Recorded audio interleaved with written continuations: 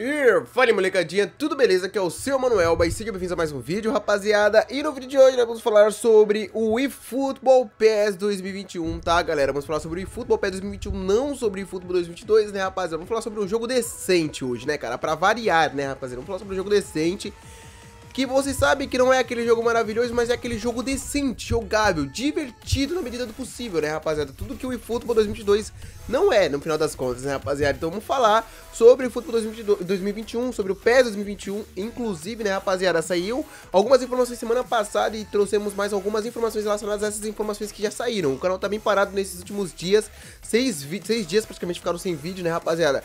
Não é porque o Manuel tá vagabundo ou que o Manuel já ganhou na loteria que não tá trazendo mais vídeo pro YouTube, é porque não tem conteúdo, tá, rapaziada? É por isso que eu não tô trazendo vídeo pro YouTube, não é porque eu abandonei o YouTube, tá? Só deixando claro porque eu recebi muitas perguntas nesses últimos dias. Bom, mas cadê os vídeos, cara? Você abandonou no YouTube? Ficou rico, cara, que não traz mais vídeo pro YouTube? Não. Não é nada disso. Mesmo que eu ficasse rico, eu não ia abandonar o YouTube, tá, rapaz? Mesmo que isso acontecesse algum dia, isso não iria acontecer de eu abandonar o YouTube, beleza? Isso dificilmente acontecerá, só deixando claro, tá?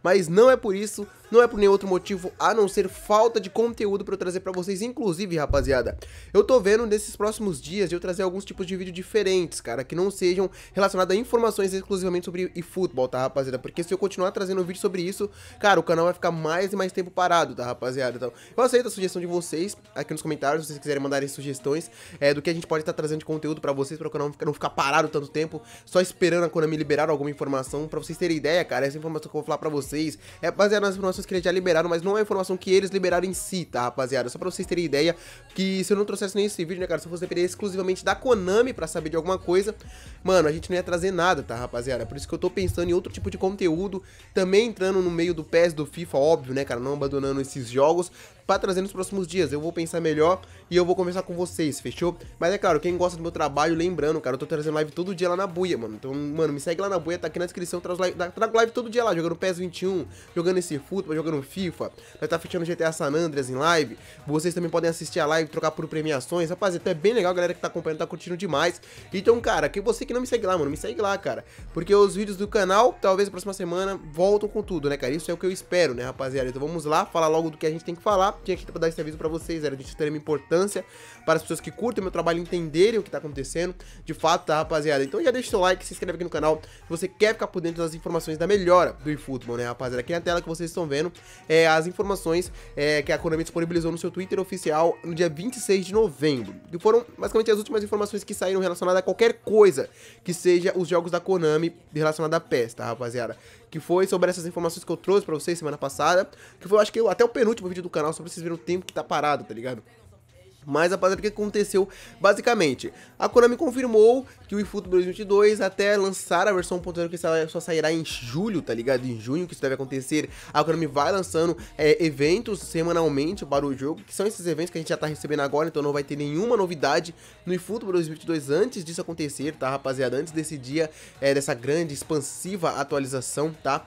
É, e no decorrer disso, tá, rapaziada, eles vão liberando eventos tanto no eFootball quanto no PES 2021, tá, rapaziada? Até o jogo ser desligado, que isso deve acontecer após o eFootball 2022 receber a grande atualização, tá? Aí o PES 2021 deve ser oficialmente desligado, tá, rapaziada? Mas até isso acontecer, a Konami sim vai colocando é, eventos no jogo. E como a gente já tinha adiantado há mais de um mês atrás, sim, a Konami estava pensando em, em colocar uma atualização de temporada no jogo, atualizar os elencos e os uniformes. A gente levantou essa possibilidade. Em momento algum eu confirmei, lembrando que em momento eu confirmei que isso iria acontecer, vocês não vão achar nenhum trecho em que eu confirmo que isso iria acontecer, a gente falou que seria legal. Eu acho que pelo, pelo, pela pressão que nós aqui do canal fizemos, a Konami sim considerou essa possibilidade possibilidade. Só que, infelizmente, segundo ele, por motivos técnicos, eles não conseguiram colocar isso, tá? Eles não conseguiram colocar isso, por, segundo eles, tá? Isso foi o que eles mesmos falaram relacionado a esse assunto. Eu não sei o porquê que eles não conseguiram, tá, rapaziada, para poder falar para vocês com mais detalhes.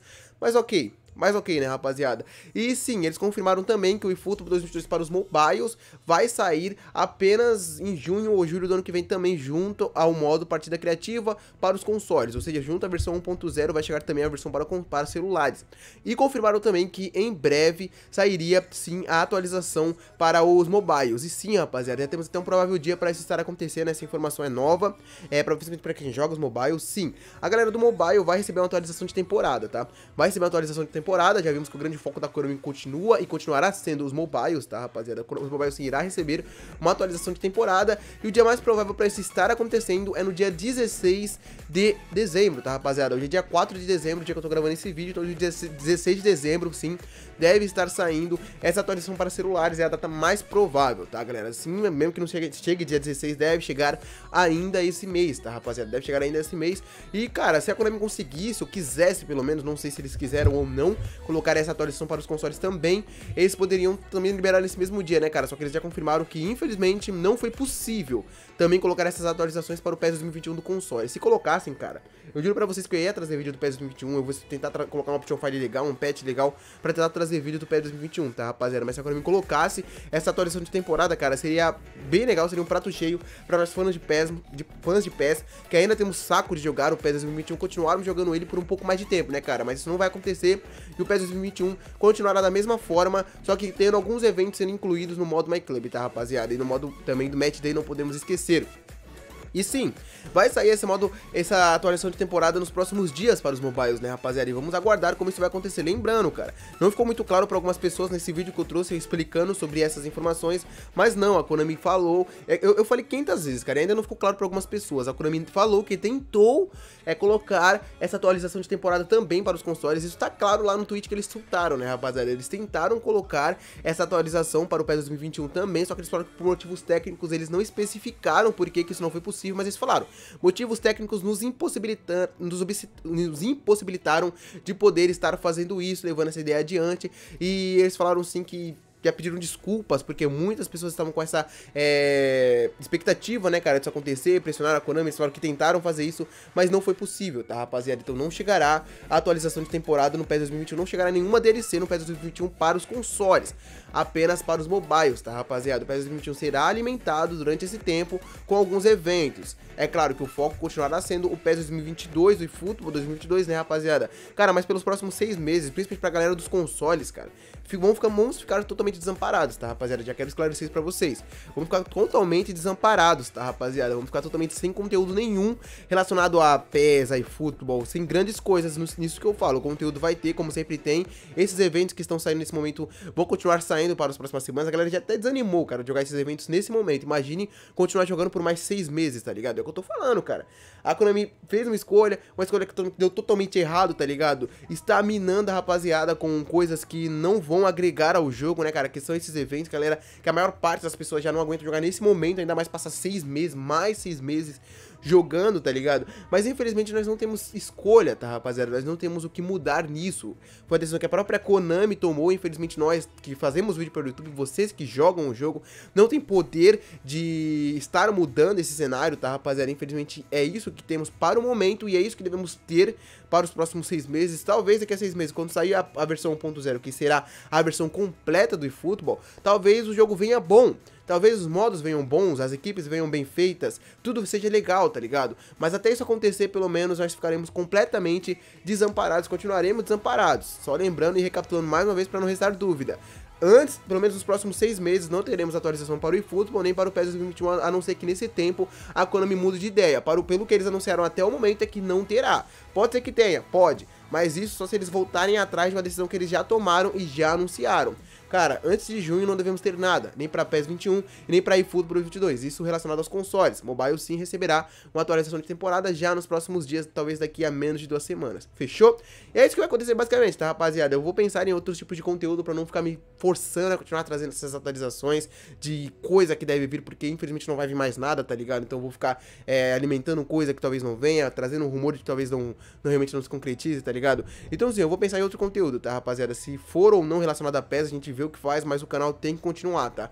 Mesmo que seja outra coisa relacionada a outro jogo, relacionada a outro, outro conteúdo, o canal tem que continuar, não pode ficar parado por conta de uma decisão que a própria Konami tomou, tá ligado? Infelizmente nós, youtubers, estamos sofrendo de na pele tudo isso que a Konami tem feito, tá ligado? Tudo, todas essas decisões erradas, nós youtubers, vocês jogadores de PES, estão sofrendo na pele, tá ligado? Então nós aqui do YouTube, vocês que jogam, vamos ter que nos reinventarmos, né, rapaziada? Vamos ter que nos reinventarmos para continuarmos, além de trazer o nosso trabalho aqui pro YouTube, vocês também continuarem se divertindo como se divertiram anos anteriores, sim, eu não sei o que nós vamos fazer, mas sim, rapaziada, infelizmente, essa é a é realidade, tá ligado? O choque de realidade que nós sofremos nesses últimos meses com esse jogo que a gente recebeu, mas a gente vai ter que dar um jeito, tá ligado? A gente vai ter que dar um jeito, nos virarmos de qualquer forma. Espero que vocês tenham curtido esse vídeo, tá, rapaziada? Um vídeo é, em tom de desabafo, em tom de...